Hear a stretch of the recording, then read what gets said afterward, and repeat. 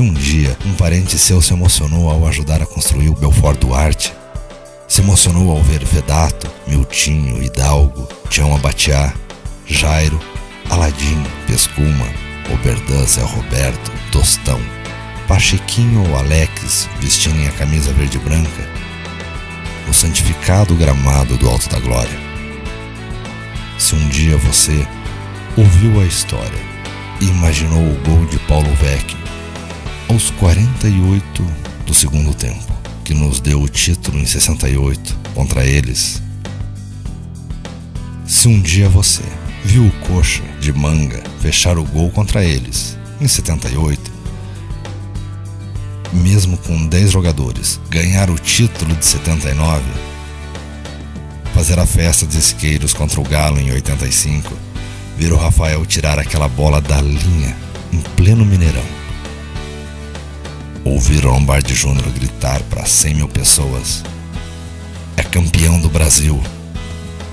Se um dia você se emocionou ao ver 15 mil curitibanos de fora do Couto Pereira contra o São Paulo em 98, viu Kleber se ajoelhar após marcar o gol da vitória em 99.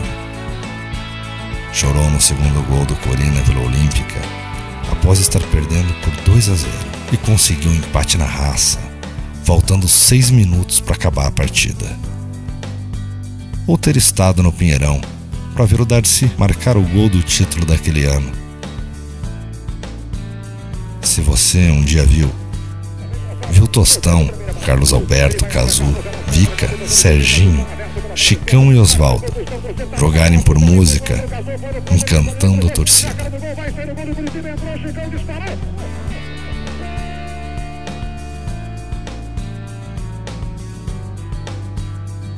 Se um dia você cantou sem parar em 95, quando o Cori perdeu por 3 a 1 do Paraná Clube, mas quem ficou até o final foi a torcida do Coxa.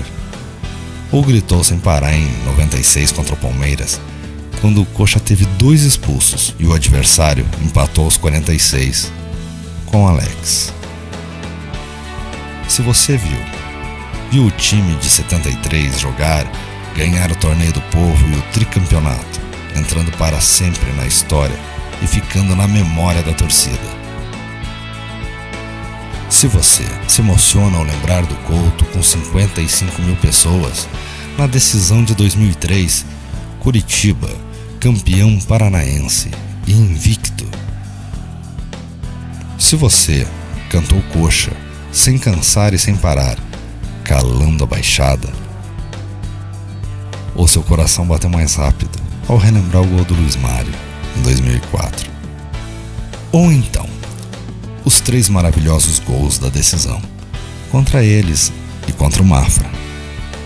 Naquele chute incrível do Josemar, ou da arrancada infernal de Adriano, do cruzamento perfeito de Ricardinho, que Tuta tão bem aproveitou, silenciando shh, a baixada. Se você estava em meio ao coro de 20 mil vozes no ano seguinte, no Pinheirão, e cantou sem parar, até a bola chutada por Rafinha bater no fundo da rede. Se você estava no Couto quando o Coxa fez 4 a 1 no Figueirense, para delírio da torcida que na base do grito fez os quatro gols do Verdão acontecerem. Se um dia você se emocionou ao ouvir alguém contando histórias sobre as bandeiras da MUC levantando, ou a festa de papel picado da torcida jovem do Curitiba, as mãozinhas da mancha verde, ou quando a Império faz a curva da entrada do Couto literalmente tremer.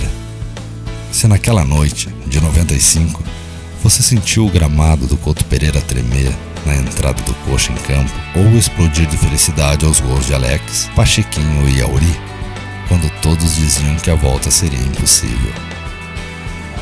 Se você esteve ao lado do Curitiba na partida contra o Inter em 2005, quando mesmo vendo o time rebaixado, demonstrou todo o seu amor pelo clube em um canto que ficará eternizado na mente de todos que se impressionaram com a força, a garra dos 27 mil coxas que tiraram forças do coração para cantarem.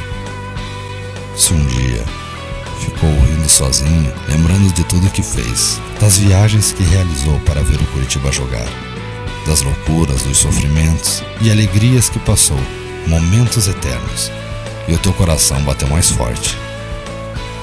Se um dia você se identificou, se emocionou ou lembrou de algum desses momentos, então pode ter certeza. O Curitiba faz seu coração bater mais forte. Faz parte da sua vida. Se você pelo menos uma vez na vida já viveu algo disto, tudo de forma sincera e intensa, é um desses torcedores que vibram, choram, pulam de alegria em cada gol. E as crianças que se vestem de verde e branco você é o responsável por fazer do Curitiba eterno. Você é coxa branca de coração.